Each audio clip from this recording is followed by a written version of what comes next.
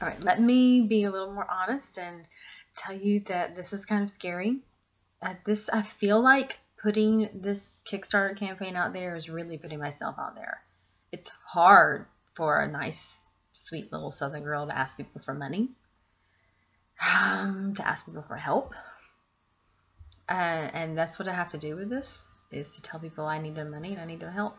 I mean, I really do want people involved. I really do want people excited about this and part of the story. Um, but ultimately, I'm asking people for money, and that's difficult. And if it doesn't get funded, if we don't get, I don't know if you know about Kickstarter. With Kickstarter, if you don't get the full amount, you don't get a penny. So if we don't get at least $40,000 by the end of October 14th, we get zero, zero, nothing at all.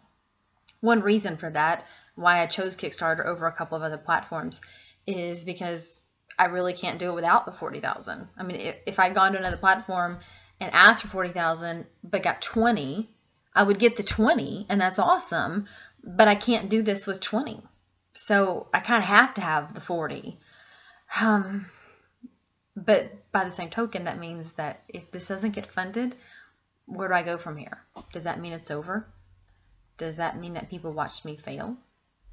I don't think so, and I'm feeling much more confident about that than I, I felt even just a few weeks ago.